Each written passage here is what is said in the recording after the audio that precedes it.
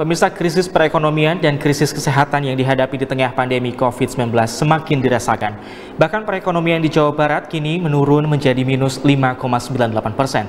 DPR Jawa Barat pun akan mendorong peningkatan fasilitasi ekonomi digital agar perekonomian tidak lebih negatif lagi.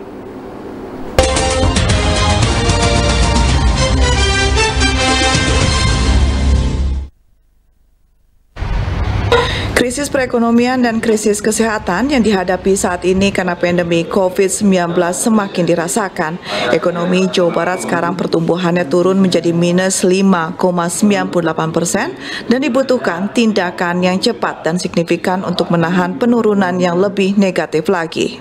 Hal tersebut dikatakan Sekretaris Komisi 2 DPRD Provinsi Jawa Barat Yunandar Eka Perwira setelah melakukan rapat kerja dengan mitra Komisi 2 terkait dengan pembahasan Kebijakan Umum Anggaran Prioritas dan Plafon Anggaran Sementara atau KUA PPAS Perubahan Tahun Anggaran 2020 di Gedung Cabang Dinas Kehutanan Wilayah 5 Kabupaten Garut.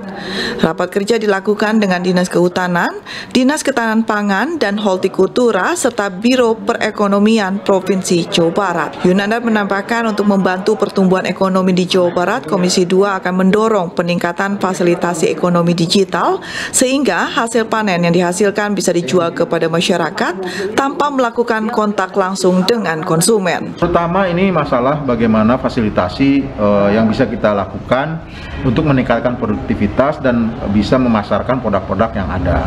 Terutama bagaimana kita bisa membantu misalnya dari sisi pengadaan uh, pemasaran di mana terkait dengan era sekarang pemasaran ini memang harus fokus kepada uh, ekonomi digital. Oke. Okay. Jadi bagaimana caranya produk-produk uh, petani, produk-produk uh, hutanan ini bisa masuk melalui uh, pemasaran digital ini. Yang kedua adalah juga penting sekali memberikan pelatihan.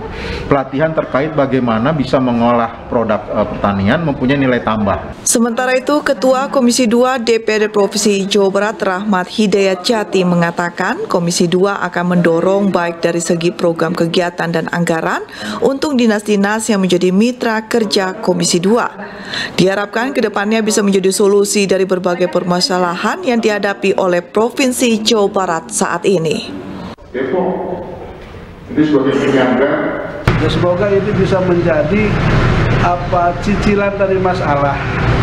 Walaupun mungkin belum bisa dijawab semua uh, masalah dan kebutuhan masyarakat di Jawa Barat tapi uh, kita terus coba untuk komunikasikan ini dengan dinas mitra agar uh, walaupun pelan gitu semua masalah ter tertangani tertangani Terima kasih.